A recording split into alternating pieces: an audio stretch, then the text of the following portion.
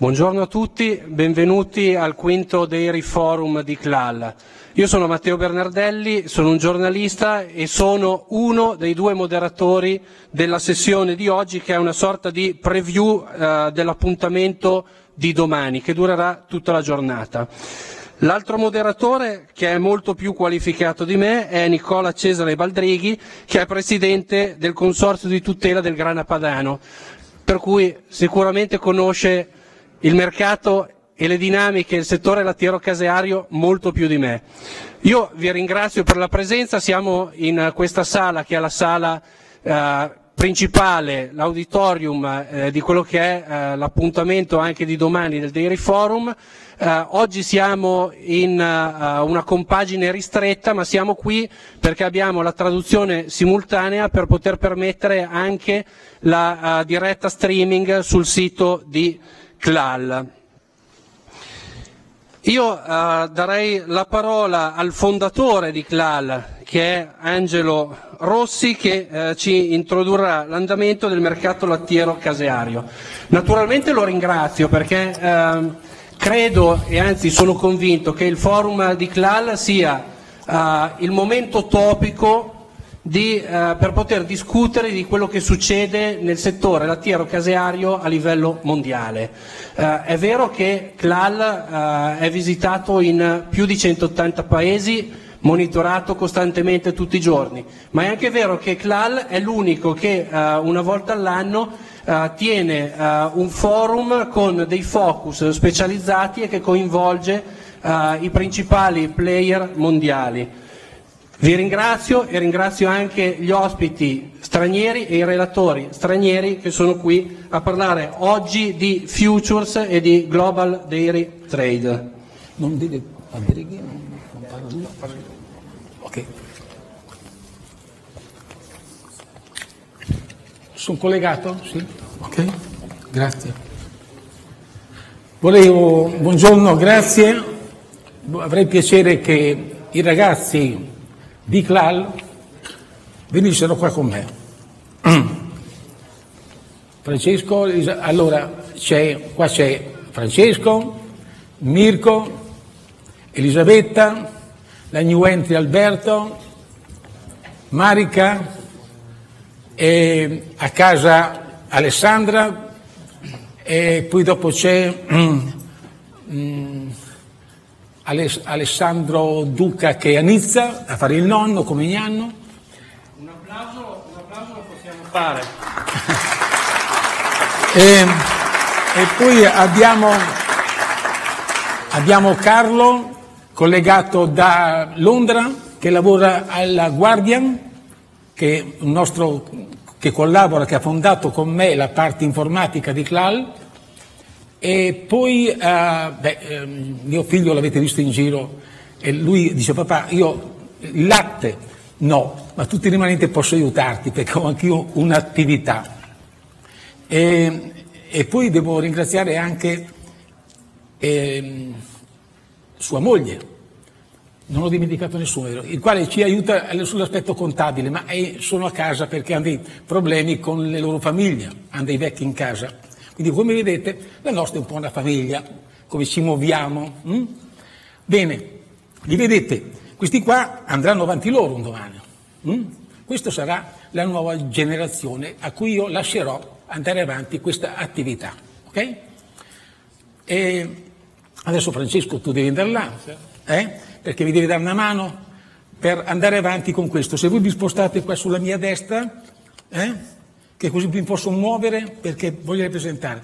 Qui voi vedete che c'è Teseo, Teseo era mio padre, un agricoltore, qui c'è qualche agricoltore mi pare presente, rappres- sì, qualche agricoltore presente. E um, usciremo con un nuovo sito web dedicato al mondo agricolo perché quanto mai è importante tenere presente nel nostro settore tutta la filiera. Senza i produttori noi non saremmo qua. Le nostre imprese, trasformatrici. Molto altro punto importante, i nostri consumatori. È tutto un equilibrio che ci abbraccia. Bene, ma questo qui lo, fino in ottobre non, non ne parleremo. Si sta lavorando per questo nuovo sito, che parleremo a tutti i produttori eh, del, del, mondo. L'obiettivo è questo qua, tutti i produttori del mondo. E, quindi direi di iniziare magari con lo slide video, vi devo presentare come va il mercato, come io lo interpreto. È una mia interpretazione, questa. Come la faccio? L'abbiamo su slide show, questo qui si aggiorna online, quindi costantemente aggiornata e possiamo andare avanti. Andiamo avanti. Qui eh, diciamo, rappresentiamo in questa le connessioni, che cosa muove il sistema lattiero-caseario, le correlazioni che regolano la determinazione di un prezzo, l'entità dell'offerta, la produzione, l'entità della domanda, il rapporto fra la domanda e l'offerta e la conseguente proiezione commerciale di tale rapporto, l'import, l'export. Questo meccanismo risente a sua volta dell'interconnessione fra grandi elementi internazionali, grandi eventi internazionali, il livello di benessere nazionale delle varie nazioni. Nella numero 4, quali sono gli elementi internazionali che sono correlati al nostro settore?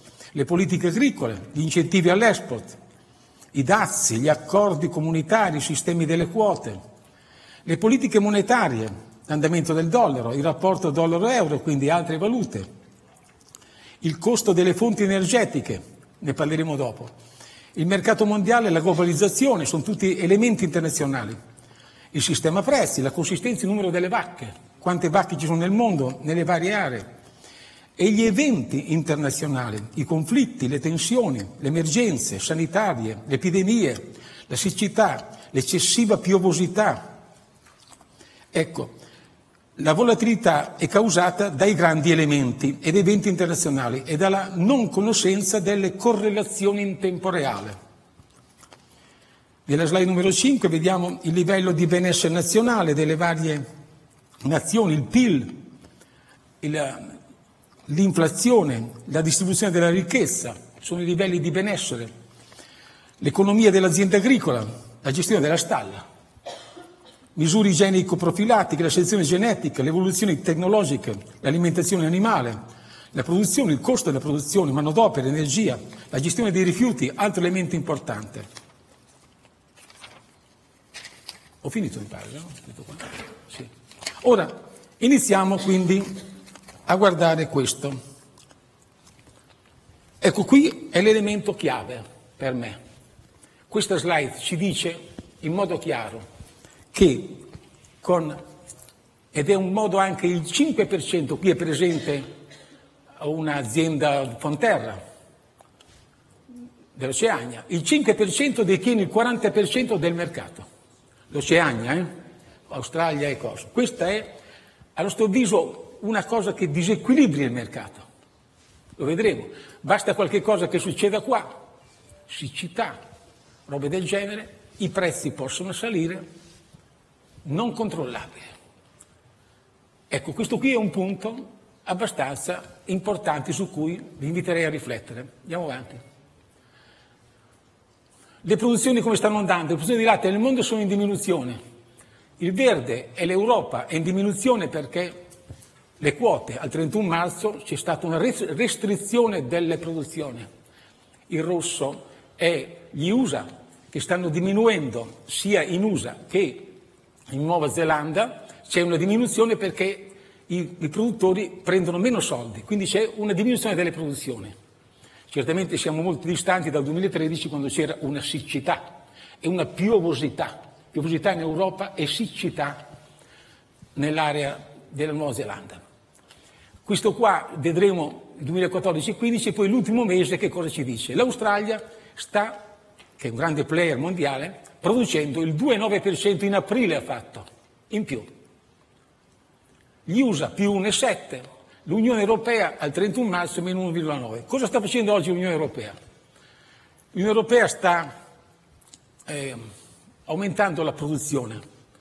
Certi paesi, l'Olanda, si parla di un 6,5-7% in più, la Francia che abbia ripreso ad aumentare, però non, non c'è, per me i paesi dell'est non abbiamo dati, eh? I paesi dell'est non penso che abbiano molto latte in più, anche noi come italiani non penso che molto latte in più l'avremo.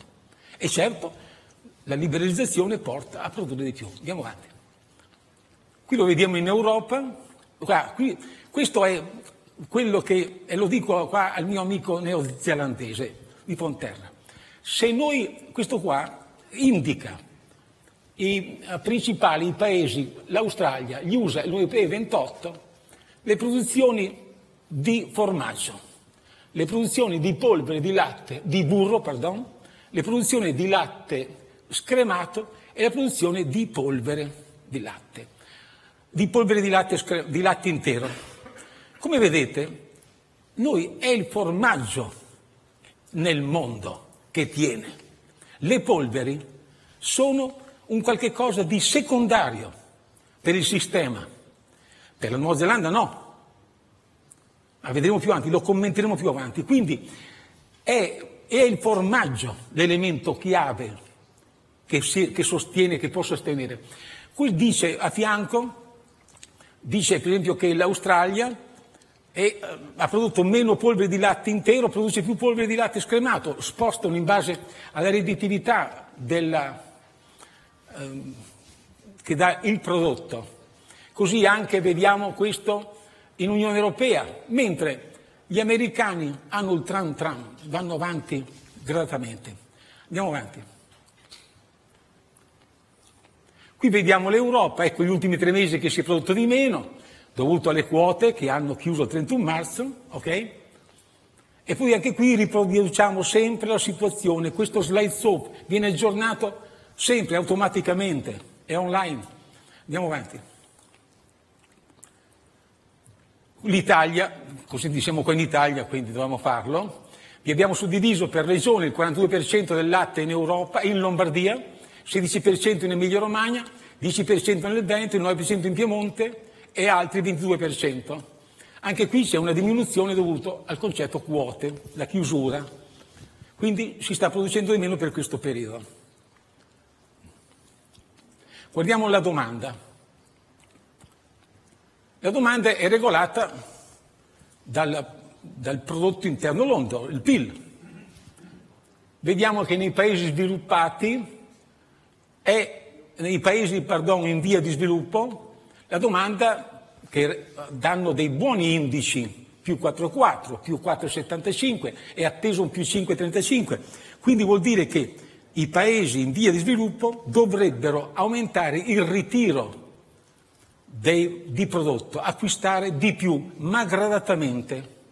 I paesi sviluppati, vedete che hanno un prodotto interno lordo che tende a crescere, ma più di tanto io penso che non consumiamo più di tanto. La mia impressione è che in Europa non si consuma più di tanto, negli Stati Uniti invece si consuma molto di più. È diverso il consumatore americano dall'europeo. Andiamo avanti. Questo è il petrolio. L'andamento verso il petrolio questo in azzurro, è il prezzo della polvere di latte intero. Chi sono gli acquirenti della polvere di latte intero? I paesi in via di sviluppo, sono i paesi produttori di petrolio. Venezuela non ha più soldi. Algeria cambiano una volta latte intero, una polvere, polvere in base a quello che costa meno, polvere di latte scremato.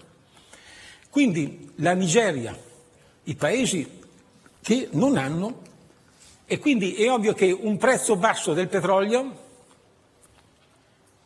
non aiuta certamente a vendere di più. Quindi c'è un rallentamento degli acquisti da parte di questi paesi. Avanti. E qui abbiamo suddiviso, abbiamo invito ad analizzare le varie aree geografiche, sempre confrontato gennaio-aprile con lo stesso primo quadrimestre con l'anno eh, precedente. E abbiamo fatto per aree geografiche. Quindi vediamo che il sud-est asiatico sta ritirando di meno. Invece ha aumentato l'Africa, ha aumentato l'Asia e il Medio Oriente, l'America, mentre eccolo qua, questo, gli altri, la Russia, hanno ritirato di meno. Questo altri 259 vuol dire che c'è un, si è allargata l'area del numero delle nazioni che sta acquistando Perché? Perché i prezzi sono bassi. Perché i prezzi sono bassi. Quindi se noi andiamo adesso, proviamo a vedere, a scomporre, togli via questi e vediamo questo, diciamo solamente il sud-est asiatico, questo qua. Ecco, abbiamo avuto una diminuzione del 16-35% di acquisto in quell'area. Lì si è acquistato di meno. Si è acquistato di meno. Andiamo avanti. E questa è la Cina. Tutti stanno pensando che la Cina possa essere la via e la, la strada per uscire da questa situazione.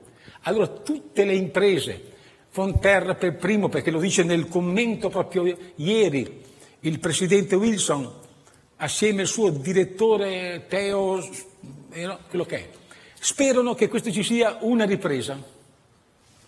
Beh, io, eh, vediamo, hanno sbagliato nel 2014, gennaio e febbraio, eh? adesso domani dopo me dovrebbero arrivare i dati produttivi, siamo gli unici ad avere questo grafico qua, che elabora questa roba. Provate a guardare, questo è stato un acquisto sbagliato. Cioè la Cina non esiste dati statistici. Se qualcuno di voi ricorda l'anno scorso che la ragazza che è venuta, quella del New venne a spiegarci dei dati che a mio avviso lasciavano un po' perplessi. Bene, oggi leggiamo sui giornali mondiali che hanno sbagliato di 300.000 gli stessi americani nella 300.000 tonnellate le stesse eh, valutazioni eh, degli stock cinesi, ma non esistono, non c'è là dati statistici ufficiali. Quindi devo stare molto attenti. Questo qui io ritengo che sia molto importante che i nostri esportatori, quando, quando vanno all'estero, facciano delle domande mirate, facciano domande mirate ai loro, ai loro colleghi, perché a volte da uno scambio di opinioni nasce questo. Vediamo quindi che Vedete, il rosso è quello che producono loro. Loro sono in regola. Se li guardiamo qua, questo è il rosso quello che producono loro. Questo è quello che importano. Quindi stanno ritirando il 23% in meno. Ho già visto i dati, questo qua, è i dati di aprile, questo è aprile, eh, che è andato avanti, abbiamo già i dati di aprile della Cina, non sono sempre in diminuzione, cioè sono fermi le loro importazioni. Andiamo avanti. La Russia, altro problema, c'è successo questo in Europa. La Russia, il 69%, questo qui rosso, è la Bielorussia. È stata l'unica fornitrice, un grande fornitore di coso. Quindi noi vediamo, questo qui lo vediamo mensile, l'andamento mensile, come era prima, questo giallo in questo qua c'è dentro l'Unione Europea. Noi abbiamo cessato l'anno scorso di fornire in agosto, avete visto? e quindi è scomparsa l'Unione Europea, rimane la Bielorussia. Vediamolo con i formaggi. I formaggi stanno importando il 58% in meno. Hanno dichiarato ultimamente che aumenteranno loro la produzione di formaggio e, di, formaggio e, di, e di, dei loro prodotti interni. Io ho qualche perplessità ho sentito che stanno acquistando dall'India, non so se dopo Sodi ci potrà dire qualche cosa, e dall'India stanno acquistando del formaggio, cioè pare che l'India diventi un fornitore ufficiale di formaggio, in questo momento è l'Argentina, il Cile, la Serbia e il Kazakistan, i paesi. Beh, eh, non lo so, l'evoluzione che avremo in Russia. Mi auguro che sto, io sono per gli accordi, eh? Io sono contro tutti i blocchi, io credo molto negli accordi. I paesi devono, i commerci bisogna, devono andare d'accordo, perché se c'è del commercio non c'è guerra, dico sempre io, commercio ufficiale, eh? regolato da fatture, commercio ufficiale, non c'è guerra, quindi io sono per i commerci mondiali. Andiamo avanti. E ecco il nuovo caso. Questo è che sta diventando abbastanza importante. La, L'USA, ho rilevato questo, avete visto che non si vedono i prezzi qua sotto? Francesco, non si vedono i prezzi. Prova ad aprirlo tutto. Mm, mm, mm. No, non va bene così, devo aprirlo tutto. Ok? Grazie. Allora, vediamo il grande salto in su. Importa dalla Nuova Zelanda gennaio-marzo rispetto al gennaio-marzo, quindi c'è una grande importazione di burro, importa dalla Francia, dal Messico, dall'Irlanda e da altri paesi. Quindi c'è questo grande acquisto, grande che si è scoperto il consumo del burro. Tant'è che domani approfondiremo con questo professore per capire questo burro che dà queste possibilità di poter... E, vedete, si sta e continua, perché guardate il trend com'è. Il trend è impressionante di questa gente. Parliamo dell'America, eh? Lo trovo molto impressionante. Andiamo avanti. E le scorte non sono molte, eh? Lo vedremo dopo. E l'importazione di cheese. Questo mi fa piacere, sono un italiano in fondo in fondo. Poi non vedo niente qua. Vedere che l'Italia è la prima a fornire nel mondo, a fornire gli Stati Uniti. Questo mi fa molto piacere perché sono italiano. Eh? E quindi vediamo che loro stanno importando, quindi dall'Olanda, dalla Spagna, ecco un'altra novità, la Spagna. La Spagna che esporta formaggio là. Siete curiosi di sapere se qualcuno mi informerà qualche, quale tipo di formaggio la Spagna sta esportando là e eh, quindi stanno incrementando fortemente le loro importazioni. Vediamo che mensilmente stanno andando bene. I prezzi, no, andiamo avanti, non guardiamo questi prezzi qua. L'export, quella è la domanda, l'export.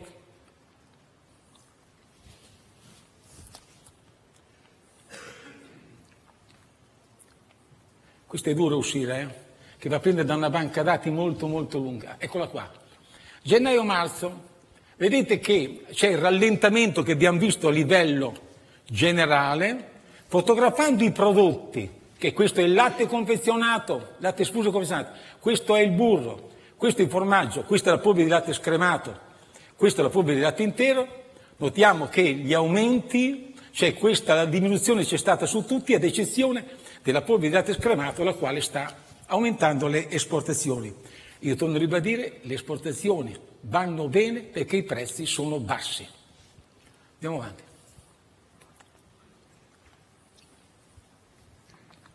Gli Stati Uniti, esaminiamo quindi se quello per capire i tre stati, Stati Uniti, Nuova Zelanda e cosa.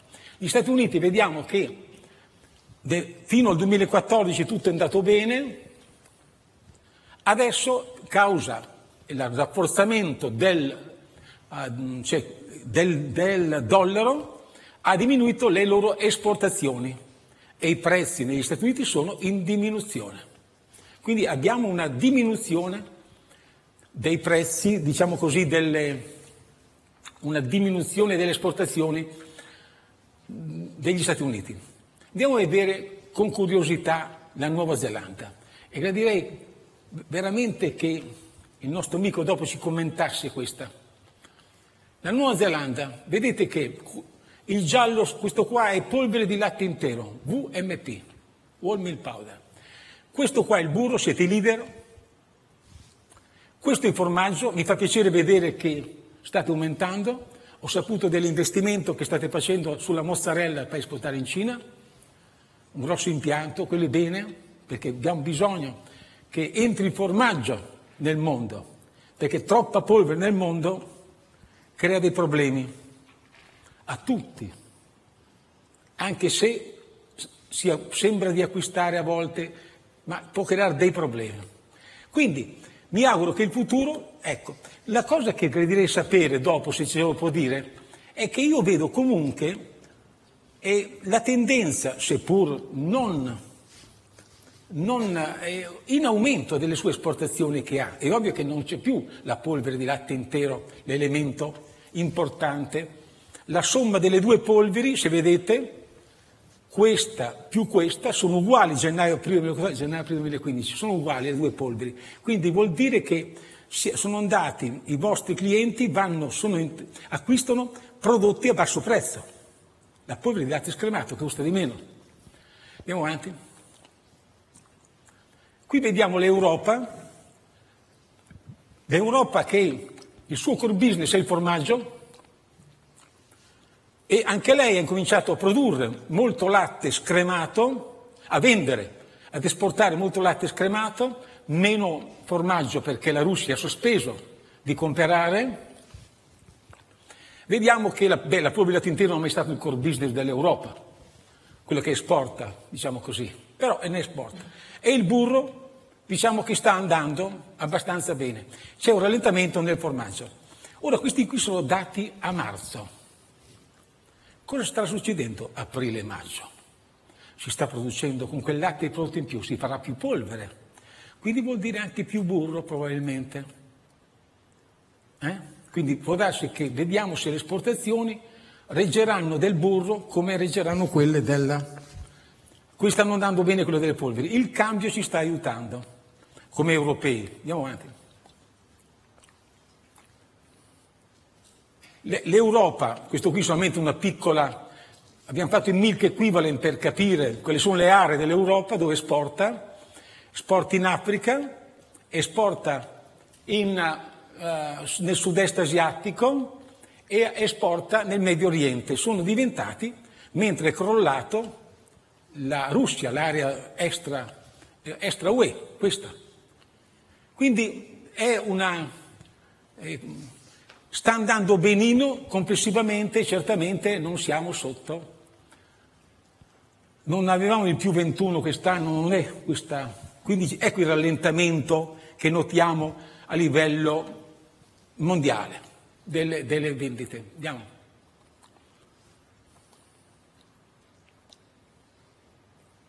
Gli stock, per capirci,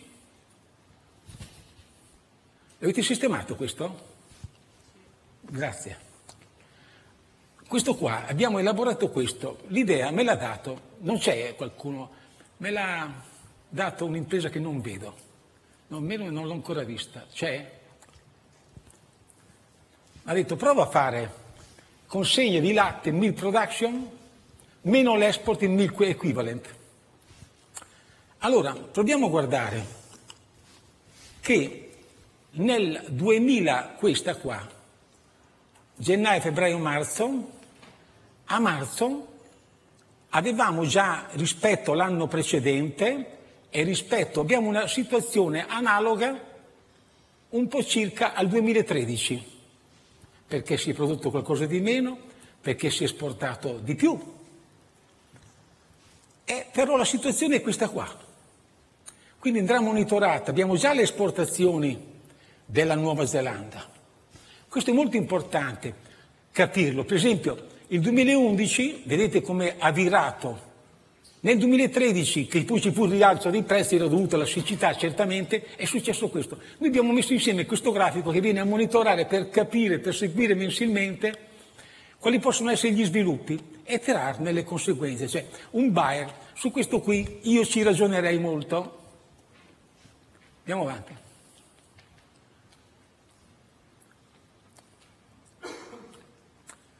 Gli stock, gli stock abbiamo, beh, quelli della, degli USA, vediamo in aumento gli stock delle polveri. Non, vedete che loro, il loro trend. Gli stock dell'Europa sono quelli ufficiali, non, cioè ufficiali, sono quelli pubblici, diciamo così, o privati, non sono quelli presso le imprese. Ma non abbiamo, ecco qui lo vediamo insieme. Andiamo avanti? Ho quasi finito. Questo mi piace un mondo, come l'ho fatto, abbiamo fatto, eh, della polvere, produzioni più import meno export. E abbiamo creato un trend. E poi facciamo mensilmente questo. Cos'è questo qua? È vedere l'andamento mensile, è chiaro. Vuol dire che la polvere sta andando, cioè noi stiamo mangiando delle scorte come polvere quindi lo vediamo in diminuzione qua in effetti. Eh? Il trend degli ultimi tre anni, ma qui le vediamo in diminuzione. Quindi le polveri non ne abbiamo nei magazzini molti. Questo è certo. Non dovremmo averne, ammettiamo il condizionale, non dovremmo averne molte. Ci sono dati calcolati così, dopo se qualcuno ci dà dei suggerimenti per migliorare, so che ci sono degli analisti molto importanti, c'è il professor Tile, c'è il mio amico Erad Richard, dov'è? Eccolo là.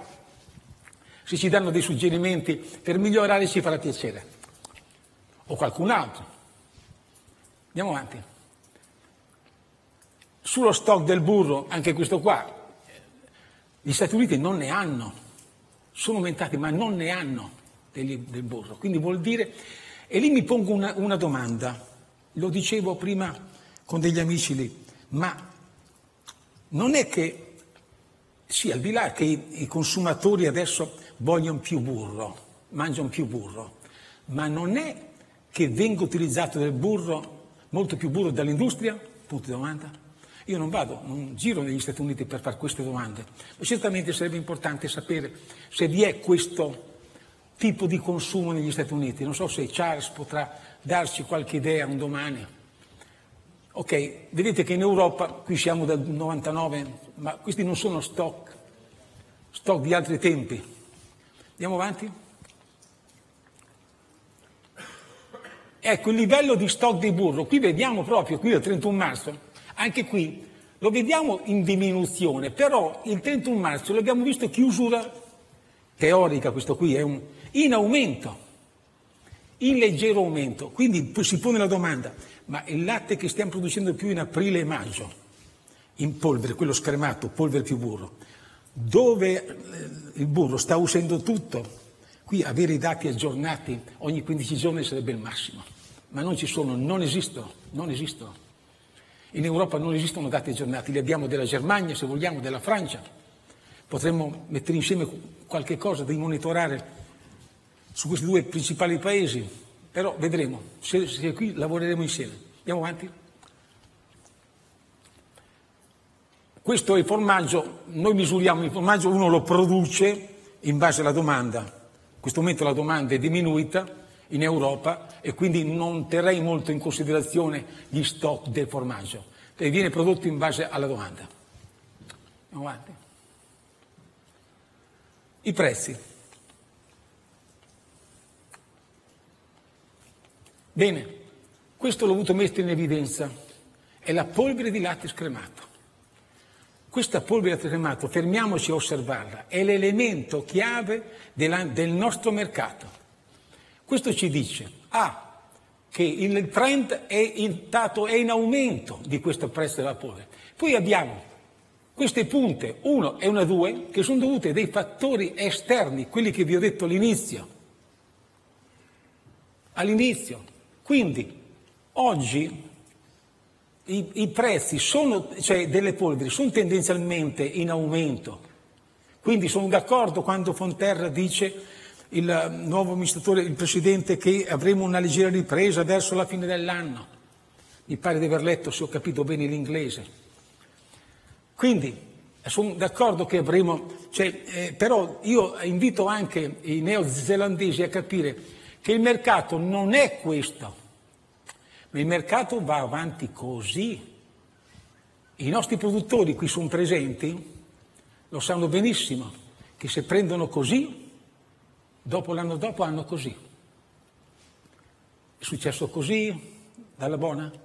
E succede questo qua, cioè succede questo. Però ecco, i produttori biodigli che i prezzi sono questi, che quando ci sono questi picchi sono fattori esterni, secondo il punto di vista. Ecco, questo punta massima, questo qua lo chiedo a Ponterra, che si è raggiunto in aprile 2013, io ho dato un'interpretazione personale, ho fatto questa attività quando ero un po' più giovane. Questo è stato per me un errore negli, da parte dei buyer che hanno acquistato. Cioè delle notizie che li hanno portati fuori strada. Questo è molto importante disporre di informazioni certe e certificate, dico io. Perché questi buyer qua là hanno fatto un errore, non si piove sopra, per poi crollare dopo. C'è un errore di fondo, salvo che non sia altri motivi. Altra questa, questa qua è un'altra. È salito il prezzo, è uscita la notizia della siccità, della possibile siccità nel mese di febbraio, i buyer hanno stati per subito i prezzi, hanno cercato di avere dalla loro parte, giustamente, perché chi si trova sui mercati mondiali si comporta così. Quindi è molto importante avere delle informazioni precise sui mercati. Andiamo avanti. Bene, poi togliere via il, No, eh, sì, le due polveri. Vedete, i due polveri rappresentano proprio i momenti della siccità. Salgono in modo... perché i prezzi sono tendenzialmente, però salgono quando c'è la siccità qua. Quando dei fattori esterni hanno influenzano il mercato. Qui sotto ci sono tutti i prezzi per confrontarli, per vedere delle varie situazioni, sia in euro che in dollari, dall'altra parte dopo in dollari. E questa mattina ci siamo confrontati con um, um, quello che vi parlerò dopo, del Global Dairy Trade, che ci ha dato alcuni indirizzi precisi, molto bravo, lo ringrazio, Nolan, molto molto bravo, e per capire come mettere uh, in chiaro anche il Global Dairy Trade in questo contesto. Mettiamo dentro, voglio vedere il burro, solo il burro. Eccolo qua. Il burro avverte, si è avvertito stranamente nel 2014 questo crollo del prezzo. Qui è stato travolto nel 2009 un po' da tutto, ma poi il burro si mantiene su di prezzo completamente. Cioè, se io lo guardo, le materie grasse tentano segnare su biometrici una linea qua, biometrici una linea qua, di tendenza per vederle. Ecco, guardiamo il formaggio, solo il formaggio, sui prezzi mondiali. Il prezzo, questo è stato travolto nel 2009, invece ha sempre un, diciamo così, un prezzo sostenuto che poi ha dato lo slancio in più quando ci sono dei fatti straordinari, 2013. Ma altrimenti i prezzi sono abbastanza, diciamo così, sostenuti. Andiamo avanti? Oh, qui togliamo via per piacere, grazie. Questa è una slide importante per noi europei. E la Commissione europea ci è venuto a dire che noi siamo stati bravi, dicono loro. Hogan, se noi siamo stati bravi. Perché mentre nel mondo il prezzo, questo qui è regolato, un prezzo mondiale fatto dal pollo più burro, è salito di prezzo, è sceso di prezzo, noi non siamo mai scesi sotto il prezzo, questo qua è un prezzo mediato fra Germania, Francia, Italia, Osterreich, Slovacchia e Repubblica Ceca. Cioè noi siamo stati bravi, quindi la Commissione si è comportata bene. Siamo sicuri? Vediamo l'altra slide, direi di no. Perché loro hanno analizzato, io l'ho contestata, andiamo sull'altra slide. E, ok, questo è il prezzo della Germania, quello verde, quello rosso è il prezzo della Lombardia. Questo è il prezzo di intervento. Ora, dirà che l'Italia risente anche lei dei prezzi mondiali. Non ci piove sopra, eh? Quando i prezzi scendono, anche l'Italia deve diminuire i prezzi. Non ci piove. Lo vediamo qua, lo vediamo qua. Tutto tende a scendere in basso.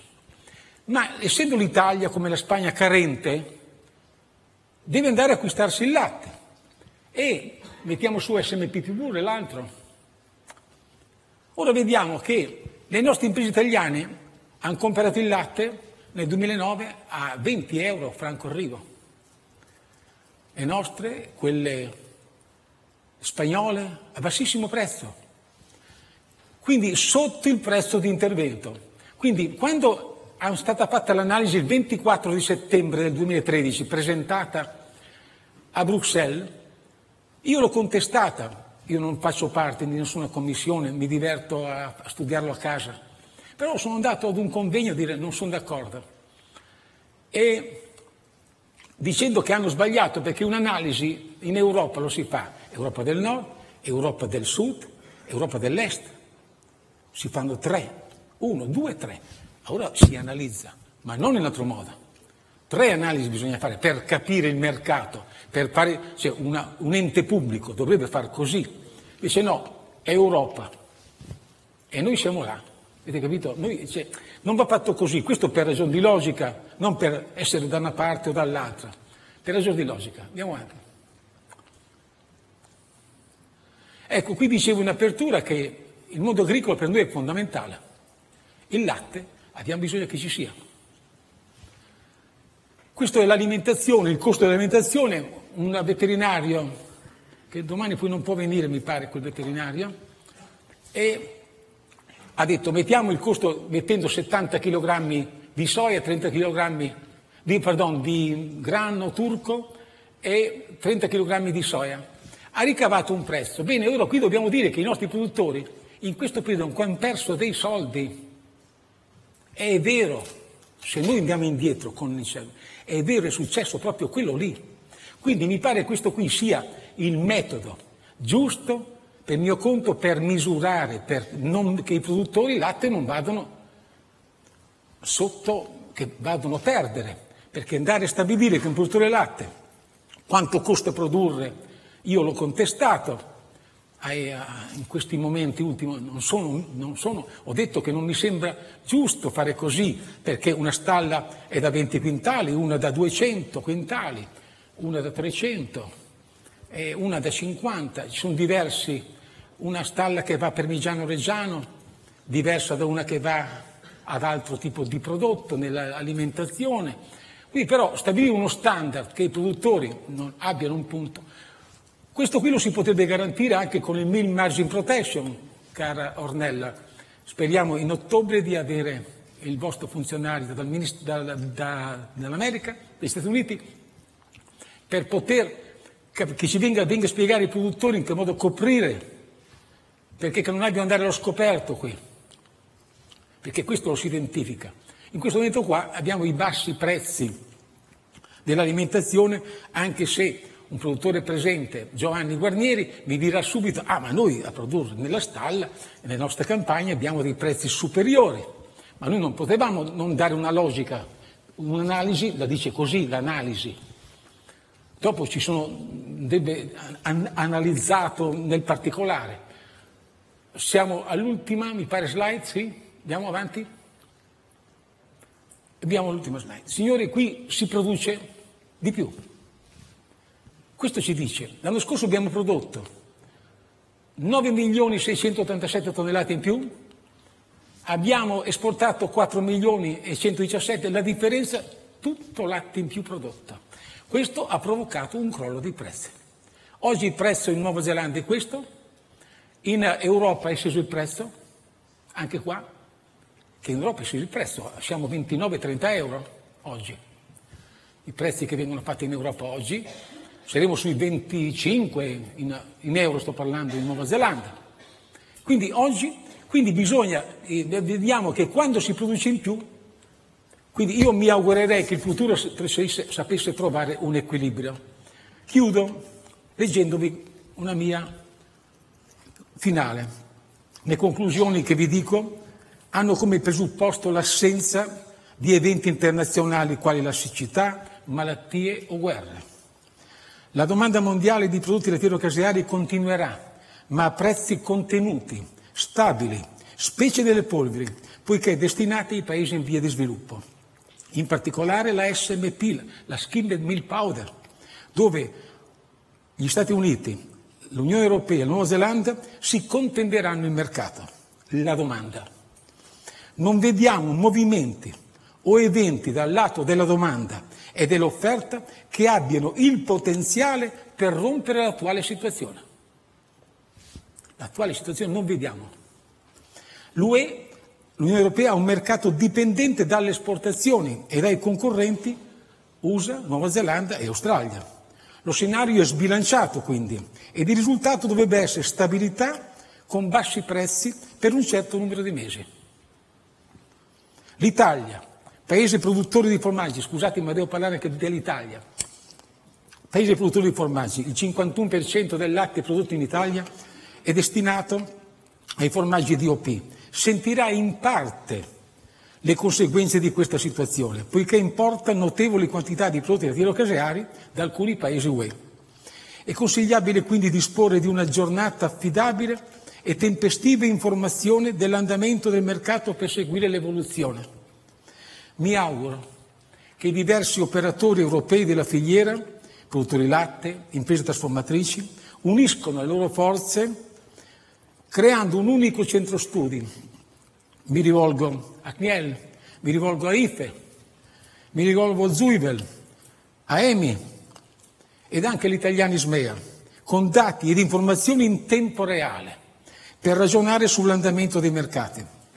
Per me di unificare le forze, per poter guidare immediatamente la situazione, perché voi operatori dovete saperle immediatamente. Io conosco diversi operatori che sono qui presenti, so con quale eh, ti telefono, voglio sapere la situazione. Noi dobbiamo essere capaci di dare via uh, internet, via altre forme, le, come va la situazione. Una maggior conoscenza potrebbe ridurre, potrebbe ridurre la volatilità.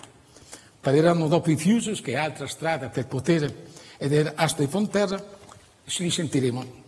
CLAL è disponibile a lavorare su questo progetto di creare un centro studi, ma in un modo sereno, ognuno stando a casa propria, però cercare di, con delle riunioni per ragionare, comunicare.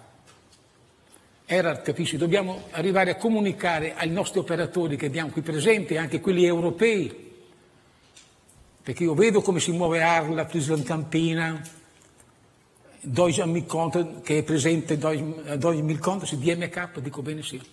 Vedo, penso che se noi diamo loro un'informazione in tempo reale molto sia di grande beneficio per il nostro settore. Penso che sia un beneficio. Quindi eh, quello che avete visto oggi è uno slide show, dovremmo quando questi ragazzi lo vorranno trasportare in PDF automatico, tic tac, e lo, potete togliervelo fuori e ripresentarlo a casa vostra col PDF se ne avete bisogno, però sarà loro. Grazie.